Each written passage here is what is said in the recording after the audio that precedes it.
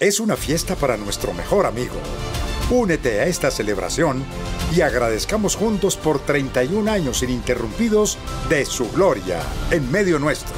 Este domingo, solamente este domingo, será una sola reunión a las 9 y 30, porque quiero que todo el ayudamiento, tanto primera y segunda reunión, nos reunamos juntos para celebrar una fiesta al Espíritu Santo. Es la fiesta a nuestro mejor amigo.